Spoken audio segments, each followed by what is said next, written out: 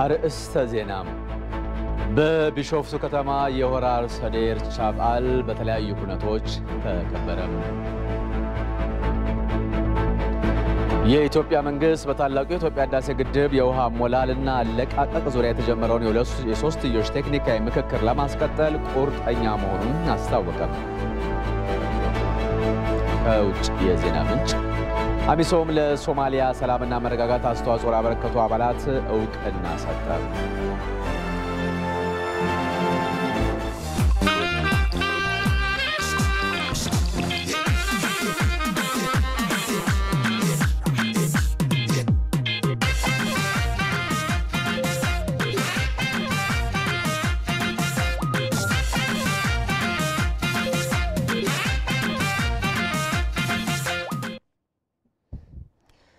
ጤና ይስጥልን። ከኢትዮጵያ ቴሌቪዥን የሰዓቱን ዜና ይዘን ቀርበናል። ተመስገን በየነ ነኝ። ዜናዎቻችንን ቀዳሚ አድርገን የያዝናቸው ርዕሰ ጉዳዮች የኢሬቻ በዓል ላይ ያተኮሩትን ይሆናል። ከእኛ ጋር ሁኑ። ወጣቱ ትውልድ ባህሉን በጋራና በአንድነት ጠብቆ ለቀጣዩ ትውልድ ማስተላለፍ እንደሚገባው በሆራ ሀርሰዴ ኢሬቻ በዓል ላይ የተገኙ አባ ገዳዎች ገለጹ። የሆራ ሀርሰዴ ኢሬቻ በዓል ከሀገሪቱ የተለያዩ አካባቢዎች የተውጣጡ ዜጎች በተገኙበት ተከብሯል። መለስ አምዴ ተከታትሎታል።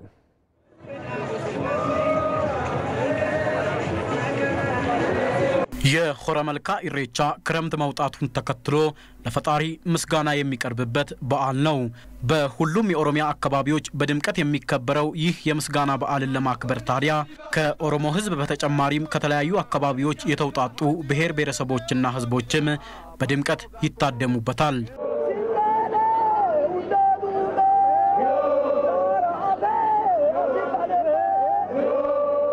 አባገዳዎች፣ ሀደ ሲንቄዎች፣ የሃይማኖት አባቶች፣ የሀገር ሽማግሌዎችን ጨምሮ የበዓሉ ታዳሚዎችም እርጥብ ሳር በመያዝ የምስጋና ስርዓቱ ወደሚካሄድበት ስፍራ በማቅናት ከክረምት ጨለማ ወደ ብራ ያወጣህን ፈጣሪ ምስጋና ይገባሃል በማለት ያመሰግናሉ። በዘንድሮ ዓመት በቢሾፍቱ ሆረ ሀርሰዴ የተከበረው የኢሬቻ በዓልም በድምቀት ተከብሯል።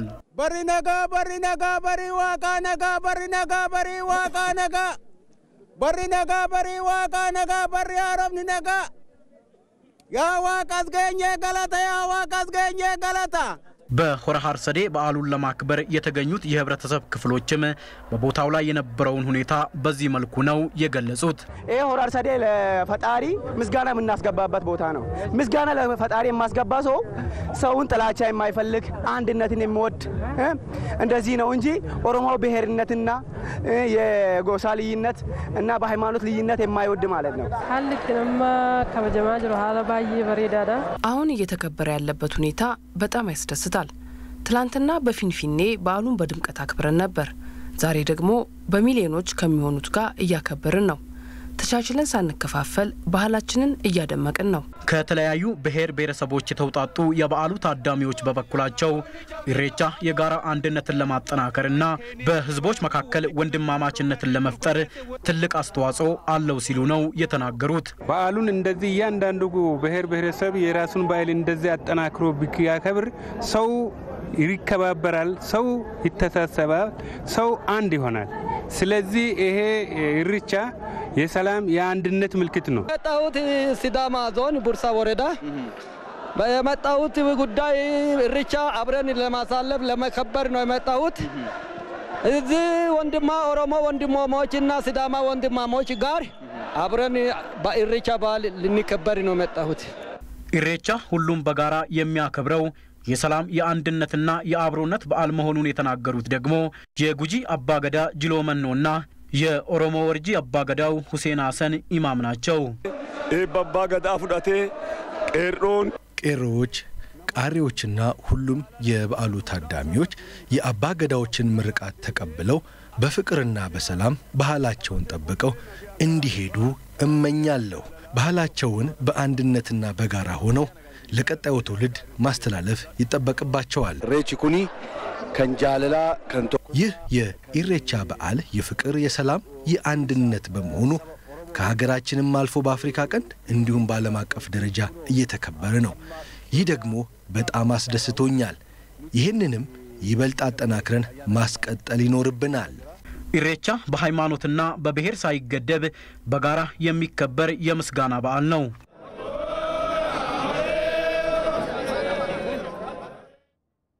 በተያያዘ ዜና በቢሾፍቱ ከተማ የሆራ አርሰዴ ኢሬቻ በዓል በተለያዩ ኩነቶች ነው የተከበረው።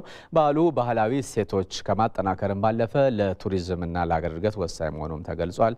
የምታስቃኘን ሀምራዊት ብርሃኑ ናት።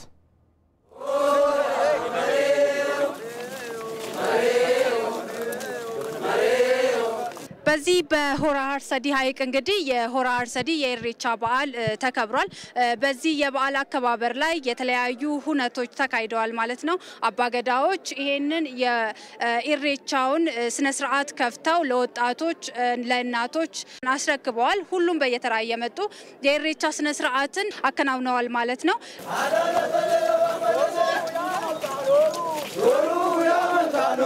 በገዳ ስርዓት እንግዲህ ሀደ ሲቄ ትልቅ ቦታ የሚሰጣትና ክብር የሚሰጣት ነው። እንግዲህ እዚህ አካባቢ ላይ በቢሾፍቱ በዚህ በሆራ አርሰዲ ኢሬቻ ላይ ሀደ ሲንቄዎች ተገኝተዋል። ሀደ ሲንቄ ለዚህ ለበዓሉ አከባበር ምን አይነት አስተዋጽኦ ታደርጋለች? በተለይም ደግሞ ሁሉንም ማህበረሰብ እዚህ በዓሉን ለማክበር እየመጡትን በምን አይነት ትቀበላለች? ትዬም ረቢና ከኔ ሜኦ ሀደ ስንቄ ማለት የሰላም አምባሳደር ናት። ቀይ መስቀል ማለት ነው። ወደ ሌላ ሄዶ ተመልሶ ወደ እኛ ስመጣ ቀይ መስቀል ቀይ መስቀል ማለት ነው። ስንቄ ማለት ቀይ መስቀል ናት። እርዳታ ሰጪ ናት። የሴቶች ጋሻ ማለት ነው። የሴቶች ጋሻ ጋሻችን ነው። በዘር አንለይም፣ በሃይማኖት አንለይም። ስር ነገዳ ሁሉም አቅፎ የሚተዳደር ነው። ሁሉም አቅፈን ለማደር ነው እንጂ እኛ አንተ ወደዛ ሂድ አንቺ ወደዛ ሂጂ የሚባል ገዳ ስነ ስርዓት ላይ የለም። በገዳ ስነ ስርዓት ህፃን ልጅ ራሷ ህፃን ልጅ እኩል ነው ከአባ ገዳ ጋራ ሀደ ስንቄ ጋራ እሬቻውን እንትን ለማለት የሚችሉት እንጂ መለያየት የለም። እዚህ ሀደ ስንቄ ማለት ሁሉንም በአንድነት እቅፍ አርጋ እንደዚህ አቅፋ የምትይዝ ናት።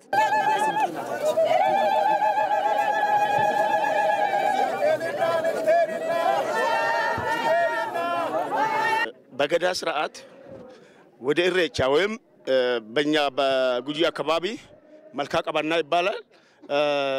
መጀመሪያ ቀደም ብሎ ተጣልቶ የቆየ ሰው ይታረቃል። ሽማግሌዎች ካስታረቁ በኋላ ከአመት አመት መሸጋገሪያ ስለሆነ መጀመሪያ እርቅ ይወርዳል። ቤተሰብ ጋር እርቅ ይወርዳል። አካባቢ ጋር እርቅ ይወርዳል። ከጎረቤት ጋር እርቅ ይወርዳል። ከዛ በኋላ ነው ወደ ኢሬቻ ማምጣት የሚቻለው። ሰው ተኮራርፎ ሰው ተጣልቶ በዚህ በኢሬቻ ላይ ወይም መልካ ላይ መምጣት አይቻልም። በገዳ ስርዓት የተከለከለ ነው። በዓል ላይ እርጥብ ሳር ይያዛል። ተምሳሌቱ ትርጉሙ ምንድን ነው? ትርጉሙ ኦሮሞ ብዙ ነገር ከሳር ያገኛል። እርጥበት ነው። ከክረምት ወደ በጋ መሸጋገሪያ ነው። ሌላ ትርጉሙ ደግሞ ኦሮሞ ከብቶችን ይወዳል። ይሄ ሳር ክብር ነው። ከብት ሳርን ይመገባል። ቅቤም ወተትም ከዛ ስለሚገኝ ሳር ከከብቶች መኖ ውስጥ ክብር ነው። ሌላ ደግሞ እርጥብ ሳር በጣም ተፈላጊ ነው፣ ክብር ነው። እርጥብ ነገር ኦሮሞ ዋቀ ጂዳን ጎድ ይላል፣ ዋቀ ጂዳን ውከን ይላል። ይሄ ባህላዊ ጸሎት ነው ይባላል። ሳር ካላዘ እርጥብ ነገር ካላዘ ኦሮሞ አይጸልይም። በእርጥብ ነገር ሆኖ የምጸልየው። ስለዚህ እርጥብ ሳር መያዝ አለበት። ደረቅ ሳር አይያዝም። እርጥብ ሳር ነው የሚይዘው ኦሮሞ። ይሄ ባህላዊ ጸሎት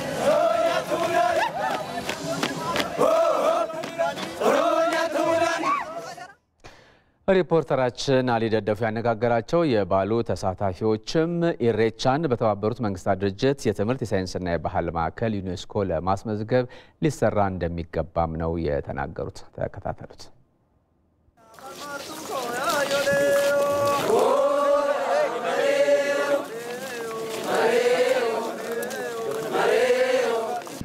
የኢሬቻን በዓል ለማክበር ከመላው የሀገራችን ክልሎች ከመላው የሀገሪቱ አካባቢ ብዙ ኢትዮጵያውያን በሆራ ሀርሰዴ እዚህ ቢሾፍቱ በሚገኘው ሐይቅ ከጉጂ ዞን የመጡ እንግዶች ስለ በዓሉ አከባበር ይነግሩናሉ። ኃይሌ አቺስ ይባላለሁ። ከጉጂ ዞን ከሻክሶ ወረዳ የመጣሁት። በጣም ደስ የሚል ነው። በጣም ደስ ብለን ነው ሁሉም ቦታ አሳለፍ ነው። አዲስ አበባም እዚህም በሰላም በተረጋጋ መንፈስ ሁሉም ነገር ፍቅርና አንድነታችን አንድ ላይ ሆነን አሁን አንድ ላይ ሆነን ሁሉም ብሔር ብሔረሰብ ኦሮሞዎች እንዳለ አንድ ላይ ሆነን ይኸው በጣም በተከበረው በጣም በቆንጆ በኃይለኛ ሁኔታ ነው አንድ ላይ እንትን ብለን ያሳለፍ ነው። በጣም ደስ የሚል እንትን ነው በዓል ነው። ከዚህ በፊት የተለየ እንደዚህ ተደምቆ አይታወቅም ብዬ ነው የሚያስበው። 2013 ከዚህ የበለጠን ደምቀን ህዝቡንም ኦሮሞዎቹንም የቀሩትንም ኦሮሞዎቹንም እኛም ከመጣንበት ከጉጆዎቹን እኛ አሁን መቶ ሰው ምናምን ብንሆን ነው መጣ ነው። ዛሬ አመት ደግሞ ከዛ ይበልጥ ብዙ አድርገን ትምህርትም ሰጥተን ሌላ ሰዎችም ዛሬ አመት ይዘን ለማምጣት እንሞክራለን። ኢትዮጵያኖች ውስጥ እንዴት ነው ይሄንን በዓል ማክበር ያለባቸው በጋራ በመሆን? እኛ የምንለው ይሄ የኢሬቻ በዓል ለኦሮሚያ ብቻ ሳይሆን መላው የኢትዮጵያ ሕዝብ በእኩልነት ፍቅሩን የሚገልጽበት ሰላምን የሚገልጽበት ስለሆነ የኢትዮጵያ ብቻ የኦሮሚያ ብቻ ሳይሆን ሁሉም ብሔር ብሔረሰብ አሁን እንዳያችሁት እዚህ እንደተገኘ ሁሉም ብሔረሰብ እዚህ ተገኝተው እኩል የሚያከብርበት ፍቅሩን የሚገልጽበት ባህሉን የሚለዋወጥበትና የሁሉም እንዲሆን ኢትዮጵያዊ ባህል ይዞ እንዲያድግ ነው የምንፈልገው። ስለዚህ ባህሉ ደስ የሚል የሁሉም ብሔር ብሔረሰብ በዓል እንዲሆንና በዩኔስኮም እንዲመዘገብልን የምንፈልገው ልዩና በዓመት አንድ የሚከበር በዓል ነው። ይሄ በዓል መሆን ያለበት የኦሮሞ ህዝብ ብቻ ሳይሆን የመላው የኢትዮጵያ ህዝብ ነው። አንደኛ የኢትዮጵያ ህዝብ ከዚህ መማር አለበት።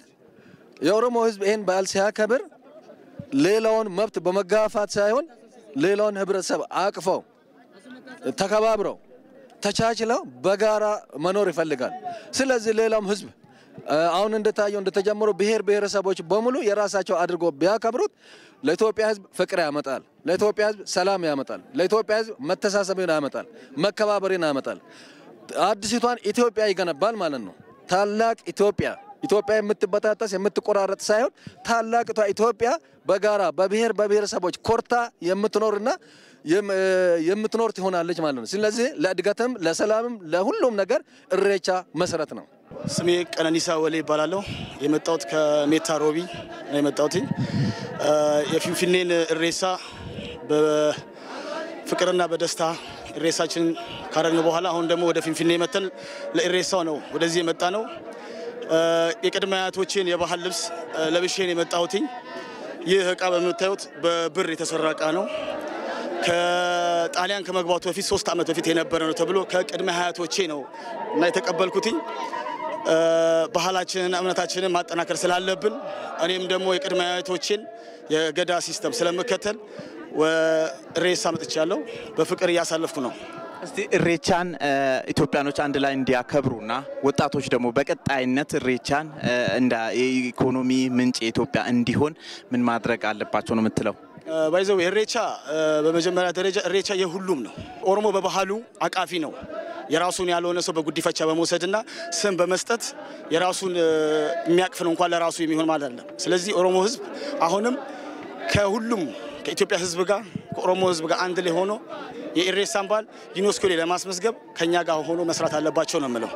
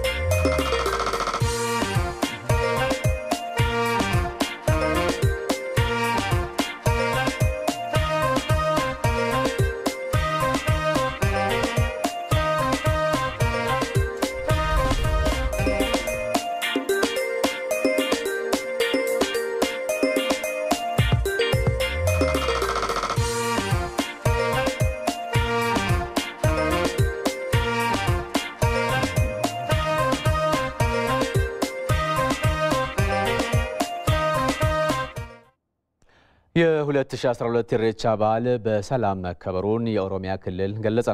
በአዲስ አበባና በቢሾፍቱ ከተሞች የተከበረው የዘንድሮ የኢሬቻ በዓል ያለምንም የጸጥታ ችግር መከበሩን የክልሉ ባህልና ቱሪዝም ቢሮ እንደዚሁም ደግሞ የቢሾፍቱ ከተማ አስተዳደር አስታውቋል። የክልሉ ባህልና ቱሪዝም ቢሮ ኃላፊ አቶ ግርማ ኃይሉ የዘንድሮ የኢሬቻ በዓል እሴቱን ጠብቆ እንዲከበርና በዓሉ በተባበሩት መንግስታት ድርጅት የትምህርት የሳይንስና የባህል ማዕከል ዩኔስኮ ተመዝግቦ የሀገሪቱን ቱሪዝም ለማሳደግ ታሳቢ ተደርጎ እንደነበር ገልጸው ለበዓሉ ሽፋን የሰጡ ሚዲያዎችንም አመስግነዋል። አንደኛው በዓሉ ፍጹም እሴቱንና ወጉን ጠብቆ ባህሉን ጠብቆ እንዲከበር የተያዘ እቅድ ነው። ይሄ ለኦሮሞ ሕዝብ ብቻ ሳይሆን የኢትዮጵያ ብሔር ብሔረሰቦች በዓል ሆኖ እንዲቀጥል ለማድረግ የማሳወቅ ስራ እንዲሰራ ነው።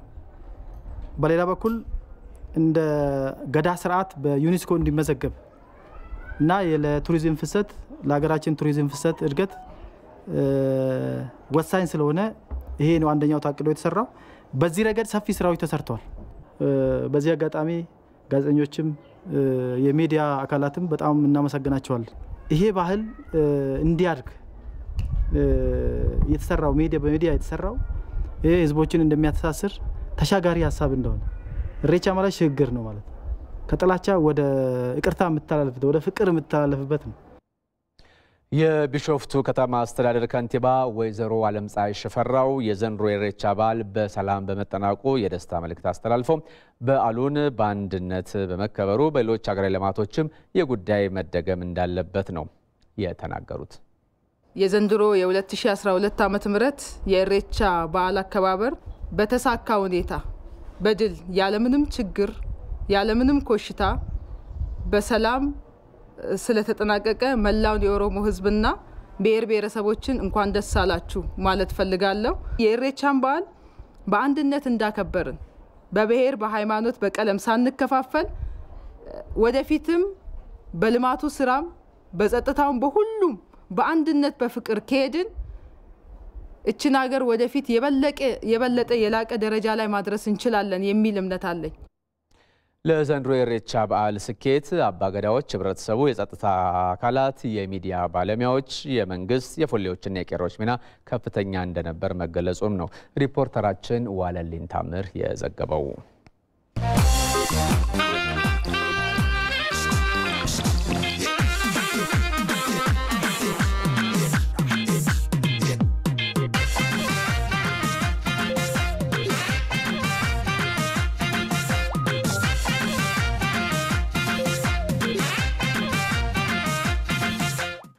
ከኢሬቻ በዓል ውጪ ወደ ሆኑ ዜናዎች ነው አሁን የምናልፈው። አምስተኛው የኢፌዴሪ የሕዝብ የፌዴሬሽን ምክር ቤቶች አምስተኛው ዓመት የስራ ዘመን የመክፈቻ ስነ ስርዓት ነገ ከቀኑ 8 ሰዓት ጀምሮ ይካሄዳል። በመክፈቻ ጉባኤው ላይ የኢፌዴሪ ፕሬዝዳንት ሳህለወርቅ ዘውዴ የሚገኙ ሲሆን ለሁለቱ ምክር ቤቶችም ንግግር እንደሚያደርጉ ነው የሚጠበቀው። በአዲስ አበባ የሚገኙ የዲፕሎማሲ ማህበረሰብ አካላት፣ የዓለም አቀፍ ድርጅቶች ተወካዮች የሃይማኖት አባቶችና ሌሎች ጥሪ የተደረገላቸው እንግዶችም በፕሮግራሙ ላይ እንደሚገኙ ነው ከተወካዮች ምክር ቤት የኢንፎርሜሽን ኮሚኒኬሽን ዳይሬክቶሬት ያገኘነው መረጃ የሚያመለክተው። ክቡራን ተመልካዮቻችን ይህንኑ የሁለቱ ምክር ቤቶች የመክፈቻ ስነ ስርዓት በምልክት ቋንቋ ጭምር የኢትዮጵያ ብሮድካስቲንግ ኮርፖሬሽን በቴሌቪዥንና በሬዲዮ የሚያስተላልፍ ይሆናል። በ2012 መንግስት ምርትና ምርታማነትን በማሳደግ ስራ አጥነትን ለመቀነስ በትኩረት ሊሰራ እንደሚገባ ባለሙያዎች ተናገሩ። የህግ የበላይነትም ትኩረት እንዲሰጠው ነው ባለሙያዎቹ የመከሩት። አቤል ሙሉጌታ የህዝብ ተወካዮችና የፌዴሬሽን ምክር ቤት የፊታችን ሰኞ መስከረም 26 2012 በጋራ ምክር ቤቱን ይከፍታሉ። ታዲያ በዚህ የምክር ቤት መክፈቻ ላይ የፌዴሪ ፕሬዚዳንት ሳህለወርቅ ዘውዴ መንግስት በዓመቱ ሊያከናውን ያሰበውን የትኩረት አቅጣጫም ለምክር ቤቱ ያቀርባሉ። ይህንን መነሻ አድርገን ያነጋገርናቸው ምሁራንም ትኩረት ይሻሉ ያላቸውንም ተናግረዋል።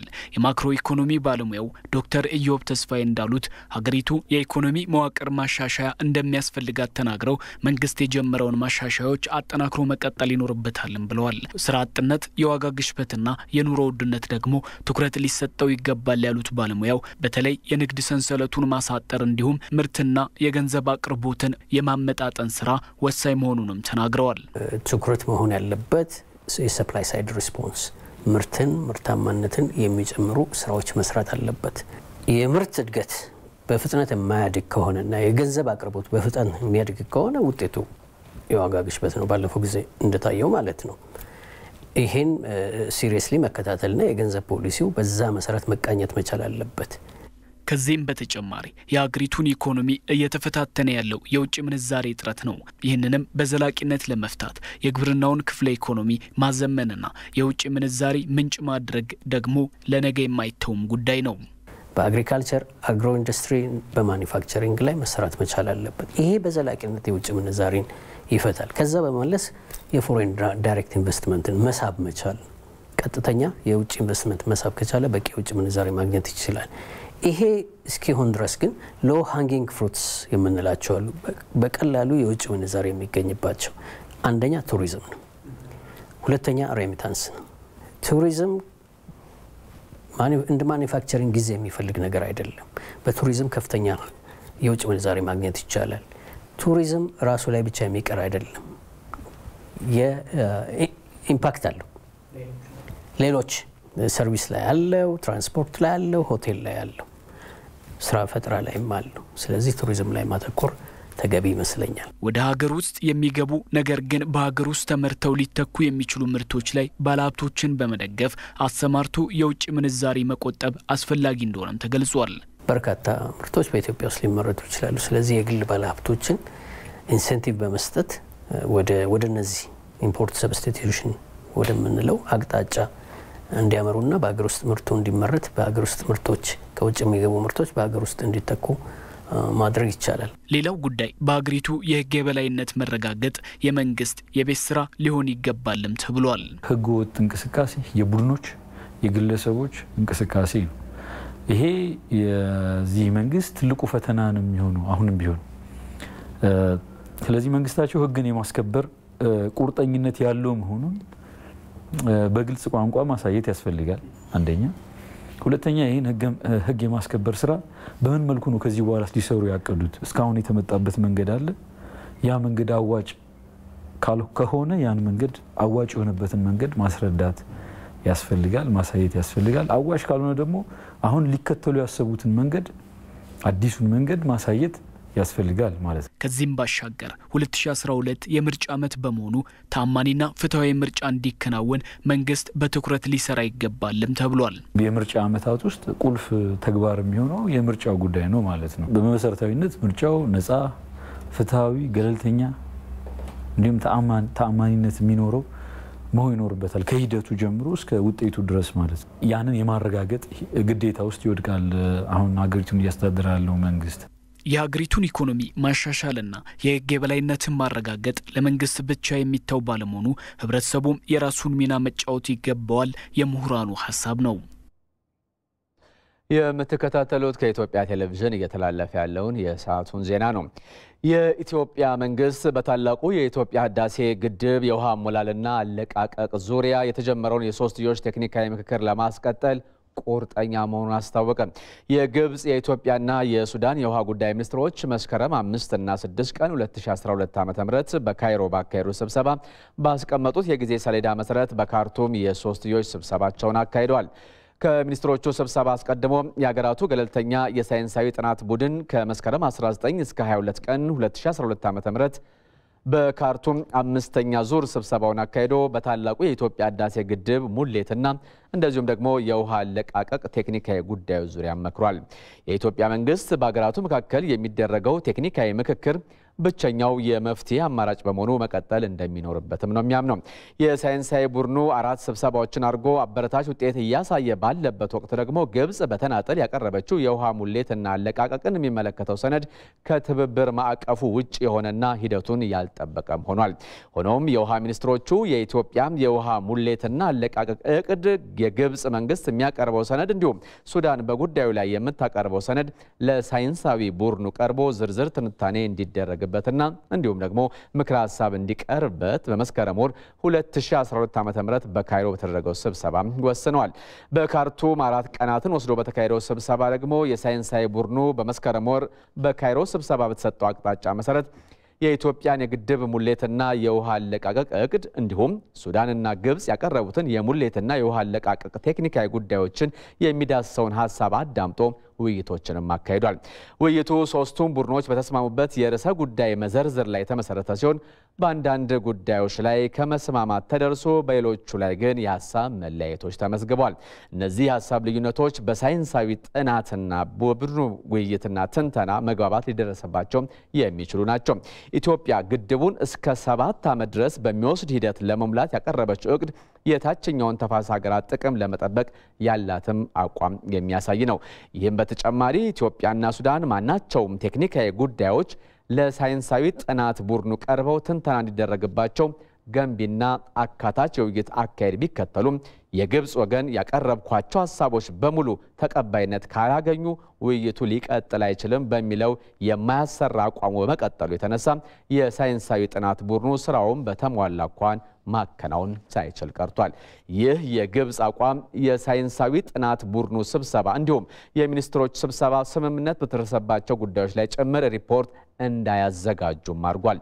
ይህ የግብፅ አካሄድ አዲስ ሳይሆን ከዚህ ቀደምም በግድቡ ላይ ሶስቱ ሀገራት ሊያከናውኑት የነበረውን የውሃ የአካባቢያዊና ማህበራዊ ተጽዕኖ ጥናት በግብፅ ወገን እንዲስተጓጎል በተደረገ ጊዜ የታየ የሳይንስና የምክክር የመፍትሄ አማራጭን የማፋለስ ዘዴ ነው።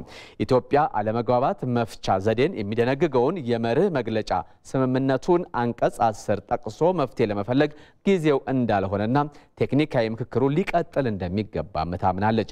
የውሃ ሚኒስትሮቹ በሁለት ቀናት ስብሰባቸው የሳይንሳዊ ጥናት ቡድኑ የደረሰበትን ተመልክተው አቅጣጫ ለማስቀመጥ ከፍተኛ ጥረት ቢያደርጉም የግብፅ ወገን ቀድሞውኑ የምክክር ሂደቱ እንዲፋረስ አቋም ይዞ የመጣ በመሆኑ የተነሳ ጉባኤው የሳይንሳዊ ጥናት ቡድኑ በቀጣይነት ማከናወን ስላለበት ተግባር መመሪያ ሳያስተላልፍ ቀርቷል።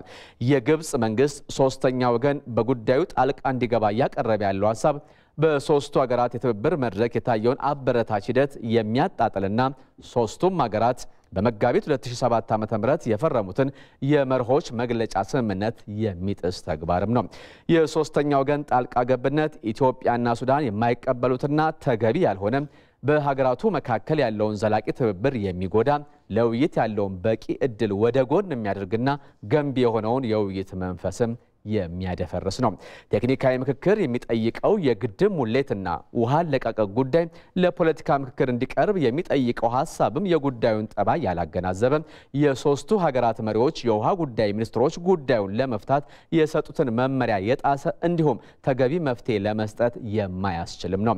የኢትዮጵያ መንግስት ልዩነቶችን ለመፍታት እድል የሚፈጥረውን የምክክር ሂደት ለማጠናከር እንደሚሰራ እየገለጸ በጉዳዩ ላይ የሚሰራጨው የመገናኛ ብዙኃን እንዲሁም ሌላ አሉታዊ ዘመቻ የሶስቱን ሀገራት መተማመን ከመሸርሸር ያለፈ ውጤት እንደማይኖረውም ገልጿል። የኢትዮጵያ መንግስት በተደጋጋሚ እንደገለጸው የአባይን ውሃ የኢትዮጵያ ሕዝቦች የአሁንና የወደፊት ፍላጎት ለማሟላት እንዲሁም ብሔራዊ ጥቅምን ለማረጋገጥ ማልማቱን በመቀጠል ርትዕን የጠበቀና በማናቸውም የተፋሰሱ ሀገራት ላይ ጉልህ ጉዳት የማያደርስ አጠቃቀም እንዲኖር ይሰራል። በተጨማሪም የኢትዮጵያ መንግስት በህዳሴ ግድብ ላይ በሚደረገው ውይይት የሚከተለው አቅጣጫ የናይል ውሃን አስመልክቶ ለተደረጉትና በኢትዮጵያ ላይ ምንም አይነት ተፈጻሚነት የሌላቸውን ስምምነቶች እውቅና የማይሰጥ እንዲሁም የላይኛውን የናይል ተፋሰስ ሀገራት መብት የማይጥስ እንዲሆን ነው። መረጃው ከውጭ ጉዳይ ሚኒስቴር ቃል አቀባይ ጽህፈት ቤት ነው የተገኘው።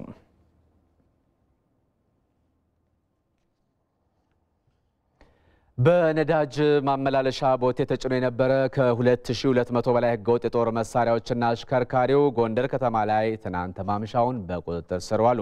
አሽከርካሪው የጦር መሳሪያዎቹን በመጫን መነሻውን ከሱዳን አድርጎ ወደ ጎንደር ሲገባ የተያዘ ሲሆን የመሳሪያዎቹን ብዛት 2221 ቱርክ ሰራሽ ሽጉጥ 34 ባለ ሁለት እግር ታጣፊ ክላሽንኮቭ አንድ ባለ አንድ እግር ታጣፊ ክላሽንኮቭ 35 ባለ ሰደፍ ክላሽንኮቭ እና አንድ ጂኤም 3 እንደሆነም ታውቋል። የመኪናው አሽከርካሪም በቁጥጥር ስር መዋሉም ተገልጿል። የጦር መሳሪያዎቹ በቁጥጥር ስር ሊውሉ የቻሉት በብሔራዊ መረጃና ደህንነት ሰራተኞችና በአማራ ክልል የሰላምና ደህንነት ግንባታ ቢሮ በጥምረት እንደሆነ ህብረተሰቡ አካባቢውን ነቅቶ እንዲጠብቅ ለጸጥታ አስጊና አጠራጣሪ ሁኔታዎችን ሲመለከት ደግሞ ለጸጥታ ኃይሎች እንዲያሳውቅ የክልሉ የሰላምና ደህንነት ግንባታ ቢሮ ጥሪ ማቅረቡን ነው የአማራ ብዙሃን መገናኛ ድርጅት የዘገበው።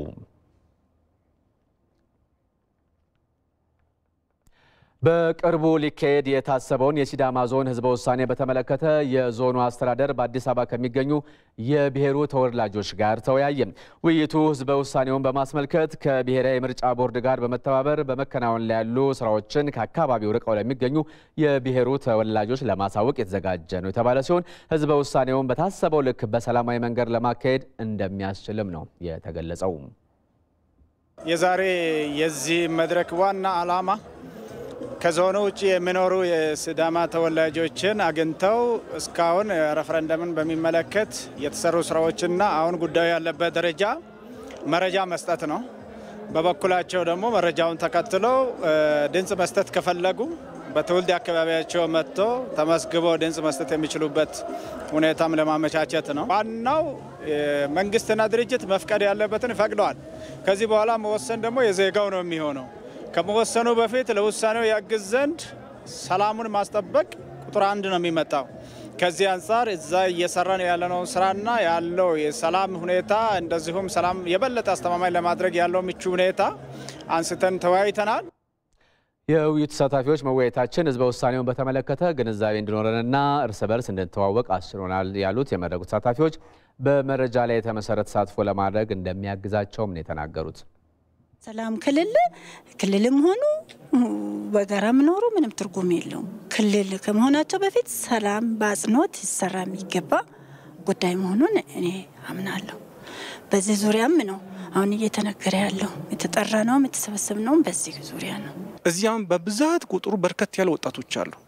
ለእነኚህ ወጣቶች ስፔሻሊ ሰላማዊ እንዲሆንና በምንም አይነት መንገድ እንዳይደናቀፍብን ጥንቃቄ እንዲደረግ ተገቢውን ግንዛቤ ለማስጨበጥ ነው። ሰላማዊ ሆነው በሲዳማ ዞን ውስጥ ባሉ 19 የምርጫ ክልሎች ውስጥ የሚኖሩ ህዝቦች ሁሉም ተሳታፊ ሆነው በነፃነት ሀሳባቸውን መግለጽ እንዲችሉ እንዲያውቁ ይሄ ጉዳይ በሰላማዊ መንገድ ሳይደናቀፍ ሁሉም ሰው ተባብሮ ሁሉም ሰው ራሱን ጸጥታውንና ሰላሙን ጠብቆ ማካሄድ እንዲችል ግንዛቤ መፍጠር ነው። ህዝበ ውሳኔው ህዳር 3 2012 ዓ ም እንደሚካሄድ ብሔራዊ የምርጫ ቦርድ ማስታወቁን አስታውሶ የዘገበው ሪፖርተራችን አልአዛር ተረፈ ነው። የሙያ ስነ ምግባርን በመጣስ የህብረተሰቡን አብሮ የመኖር እሴት የሚሸረሽሩ መረጃዎችና ዘገባዎችን የሚያሰራጩ ሚዲያዎች እየተበራከቱ በመምጣታቸው የተነሳ የህብረተሰቡ ሰላምና የአገር ህልውና አደጋ ላይ እየወደቀ ስለሆነ ህግ የማስከበር እርምጃ እንዲወሰድ የባህር ዳር ከተማ ነዋሪዎች ጠየቁ። የሀገሪቱ የመገናኛ ብዙኃን አገልግሎት በህዝብ እይታ በሚል መሪ ሀሳብ ከባህር ዳር ከተማ ነዋሪዎች ጋር እየመከረ የሚገኘው የኢትዮጵያ ብሮድካስት ባለስልጣን ከወገንተኝነት ያልጸዱና ሙያዊ ስነ ምግባርን በማይጠብቁ ተቋማት ላይ እርምጃ እንደሚወሰድ ነው ያስታወቀው። ራሄል ፍሬው የሀገራችን ሚዲያ ተቋማት አገልግሎት በህዝብ እይታ በሚል መሪ ሀሳብ የኢትዮጵያ ብሮድካስት ባለስልጣን በባህር ዳር ከተማ ባዘጋጀው የውይይት መድረክ ተሳታፊ የሆኑ የህብረተሰብ ክፍሎች በሀገሪቱ ከቅርብ ጊዜ ወዲህ በመገናኛ ብዙኃን የመረጃ ፍሰትና እያስከተለ በሚገኘው ውጤት ላይ ስራዎች ሊሰሩ እንደሚገባ ጠቁመዋል። ሚዛናዊ ያለመሆን ነገሮች በአብዛኛው ይታያሉ። ከጋዜጠኛውም ጋር ተያይዞ ከስሜታዊነት ያልጸዱ ዘገባዎች እየተላለፉ አሉ። እነዚህ በህብረተሰቡ ላይ ምን ዋጋ አስከፍለዋል? ሰው ለብሔሩ ብቻ ያደላ እንዲሆን የደረሰውን ግጭት በማጋነንና የሌላውን ደግሞ በማንኳሰስ በተፈጠሩት ችግሮች ሚዲያውም አስተዋጽኦ አለው ብለን እኛ እናስባለን። ተሳታፊዎቹ አያይዘው ሚዲያዎችን በበላይነት የሚቆጣጠረው የብሮድካስት ባለስልጣን ሚዲያዎች ከተቋቋሙበት ዓላማ አንጻር ብቻ ሳይሆን ሊወጡት ከሚገባው ሀገራዊ ኃላፊነት አኳያ በመመዘን የሀገርና የሕዝብ ሕልውና ላይ ጥርጣሬ የሚያጭሩ ተቋማት ላይ ተገቢውን እርምጃ ሊወስድ እንደሚገባ ይናገራሉ። የተለያዩ ባህሎችን በተለያየ አካባቢ በተለያየ መንገድ ይገለጻል። የማይታወቁ የማናቃቸው ሌላው ዓለም የማያውቃቸውን ባህሎች እንደ ሀገር እንደ ኢትዮጵያ የምናስተላልፋቸው የሚተላለፉ መልእክቶች አሉ። ያን ያህል ደግሞ ጽንፍ የያዘ ደግሞ የተወሰኑ ግሩፖች የሚያንቀሳቅስ ደግሞ ሚዲያ አለ። የነዛ ሰዎች ጀርባ ደግሞ ብዙ ጊዜ ከፖለቲካ ጋር የተገናኘ ይሆናል። ሚዲያ የሚያንቀሳቅስ የሚቆጣጠር ባለስልጣን እነዚህ ነገሮች ላይ እርምጃ የመውሰድ አቅም ከሌለው እንግዲህ ቆም ብሎ ራሱ መፈተሽ አለበት ማለት ነው። ከፖለቲከኞች ውጭ ሚዲያዎች ራሳቸው defense የመደራረግ ይዘውት የሚነሱት issue ራሱ በራሱ በጣም ከባድ የሆነበት ሁኔታ አለ። ስለዚህ ብሮድካስት ባለስልጣኑ እነዚህን የክልል ሚዲያዎች በተለየ አይን ከእንደዚህ አይነት አስተሳሰብ ወጥተው የሚሰሩበትን ሁኔታ ማመቻቸት ያለበት ይመስለኛል። ህዝቦችን ለማገልገል የተቋቋሙ የመገናኛ ብዙኃን ወቅቱ የፈቀደውን ለውጥና ነጻነት በመጠቀም ለሰላምና ለሀገራዊ አንድነት ሊሰሩ ይገባል ያሉት የክልሉ የመንግስት ኮሚኒኬሽን ጉዳዮች ጽህፈት ቤት ምክትል ዳይሬክተር ወይዘሮ ሁሌና መብራቱ መረጃዎችን ለህዝብ አለማድረስም ሆነ በተዛባ መልኩ መዘገብ የሚያስከትለው አሉታዊ ውጤት በመሆኑ ሁሉም አካላት በሙያዊ ስነ ምግባር ላይ ትኩረት እንዲያደርጉ ይጠይቃሉ። አንድ ጽንፍ ይዞ የተነሳን አካል ማስተካከል ይቻላል ብዬ አላምንም። መሆን ያለበት ግን balance አድርገው በሚሰሩት ሚዲያዎችና መንግስትም በራሱ መንገድ እና በተጠያቂነት መንገድ እየሄደ መፍትሄ ሊሰጣቸው ነው የሚችለው። ምክንያቱም አነሳሳቸው ጽንፍ ነው። ስለዚህ እነዚህ ሲጀመር የጋዜጠኝነት መርህ ጠብቀው እየሰሩ አይደለም። እነዚህን በመቅጣት ነው ማስተማር የሚቻለው። ከዛ ውጭ ግን በመደናገር መረጃዎችን በአግባቡ ካለማግኘት የተነሳ የሚመጡትን አንዳንድ ነገሮችን በዝምታ በማለፍ መፍትሄ ይመጣል ብሎ የሚያምኑ ሚዲያዎችን ደግሞ ማስተማር ያስፈልጋል ብዬ አስባለሁ። ስለዚህ ብሮድካስት ባለስልጣን ይሄ በዋነኝነት ኃላፊነት ስላለበት መወጣት አለበት።